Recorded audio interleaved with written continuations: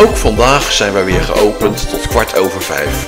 Alles ligt weer in de etalage en u bent van harte welkom op de Boersvest in Schiedam Centrum. Tot ziens!